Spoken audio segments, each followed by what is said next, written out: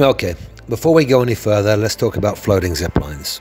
Zip lines may actually be a bit of a misnomer, given that, generally speaking, actual zip lines are recreational in nature and aren't usually backed up with control, belay, and taglines. As such, a better term or description for these systems, at least as used by fire services and other emergency response units, would be descending high lines.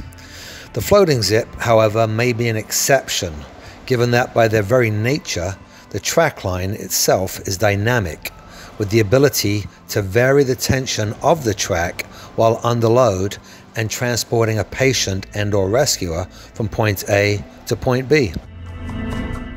It's this design function that allows you to vary both your pickoff point and landing zone, such as might be needed in tower or tower crane rescue.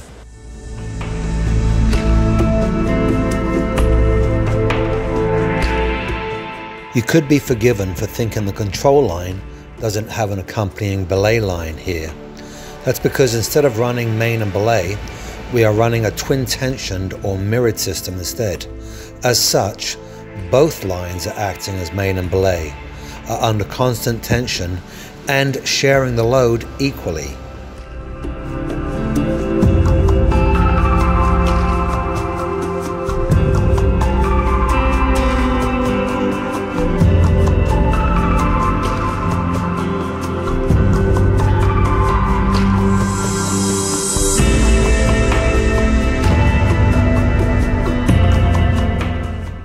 If you are still hesitant regarding twin tension systems, it should be noted that as of 2021, they are now specifically identified in Chapter 5 of the 1006.